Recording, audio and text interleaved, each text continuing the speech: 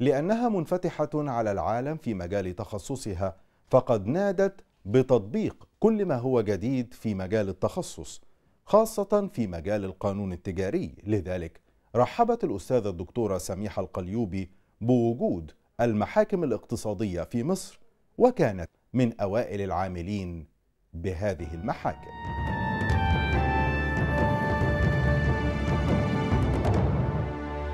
أستاذة الدكتورة سميحة الأليوبي من وقت مبكر حضرتك بتنادي بوجود محاكم اقتصادية في البداية نحب نعرف يعني إيه محاكم اقتصادية؟ ده ده ده ده, ده موضوع جميل قوي. والله يعني فكرة إنشاء محاكم اقتصادية كانت فكرة صائبة جدا. يعني أيام ما هي القانون سنة 2008 آه، طلع قانون 120 سنة 2008 وكنا مستغربين وكنا بنعمل ندوات كتير قوي لإيضاح آه، آه، مفهوم المحاكم الاقتصادية. وطبعا أنا أكتر واحدة سعيدة لأنه آه، كل تخصصي تبع المحكمة الاقتصادية. تمام. البنوك والم... و... ويعني كل كل القوانين وحماية المستهلك و إلى آخره كل القوانين المعني بها قانون التجارة خاضعة. معظمها يعني. خاضعه للمحاكم الاقتصادية. آه. ولكن أنا شايفاها نجحت جدا وبقى لها ثلاث سنين أهي.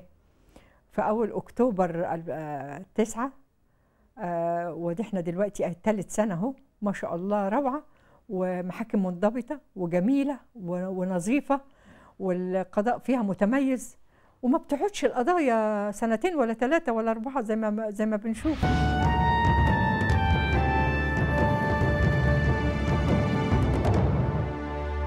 أهميتها إيه يا دكتورة؟ خصوصا بالنسبة للإفلاس. آه. آه، أنت مسيت موضوع كويس قوي وأنا سعيدة بالأحكام اللي بتصدرها محكمة الاقتصادية بتطبق روح القانون.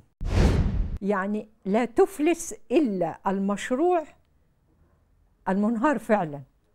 واخد بال حضرتك؟ أما المشروع اللي ممكن ان يقوم من كبوته واخد بالك؟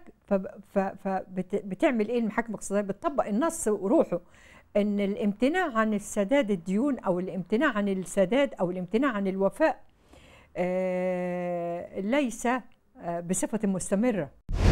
ده نتيجة ظروف طارئة.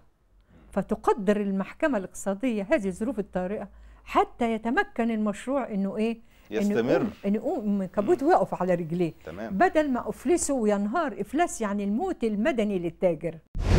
الموت المدني للتاجر. تمام. آه. فده بيكون له مردود مهم ده, جدا. ده متعة متعه خاصة في في سنة 2011 يعني من يناير 2011 لغاية دلوقتي المصانع متوقفة بدون سبب بسبب الإضرابات ومش مش عجز. أيوه مش عجز منها. عندها.